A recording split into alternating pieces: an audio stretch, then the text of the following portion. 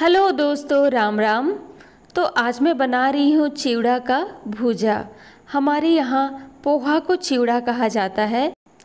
आप लोग इसे किन किन नामों से जानते हैं, मुझे कमेंट बॉक्स में ज़रूर बताइएगा। गैस के फ्लेम को हमें मध्यम आँच में रखना है और दो चम्मच तेल डाल देना है। जब तेल थोड़ा गर्म हो जाए, तब हम इसमें डाल देंगे मूंगफली। अब मूंगफली को हमें अच्छे से फ्राई कर लेना है। अब मूंगफली अच्छे से फ्राई हो गया है, अब इसे हम बाहर निकाल लेंगे।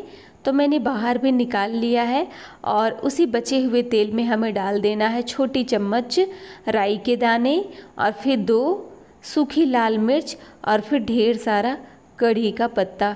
कढ़ी के पत्ते से टेस्ट बहुत ही अच्छा आता है और दो कटोरी हम डालेंगे।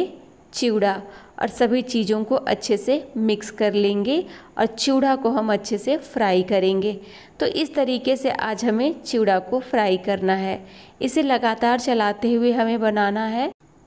इसे लगातार हमें चलाना है, नहीं तो ये नीचे से चिपक सकता है और फिर ये स्वाद में फिर अच्छा नहीं लगेगा क्योंकि ये जल जाएगा। और जैसे जैसे ये फ्राई हो जाएगा वैसे वैसे इसका कलर जो है चेंज होता जाएगा।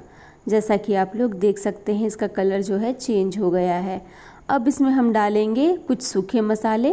तो यहाँ पे मैं डाल रही हूँ काश्मीरी लाल मिर्च, भुना हुआ जीरा का पाउडर, हल्दी पाउडर और फिर स्वाद के अनुसार नमक। और सभी चीज़ों को अच्छे से मिक्स कर लेंगे और थोड़ा हम और फ्राई कर लेंगे। हमारा चिवड़ा जो है, ऑलमोस्ट फ्राई हो चुका है। अब इसमें हम डाल देंगे भुना हुआ मूंगफली और इसे भी हम थोड़ा सा मिक्स कर लेंगे। और हमारा चिवड़ा का जो भूजा है बनके तैयार हो गया है।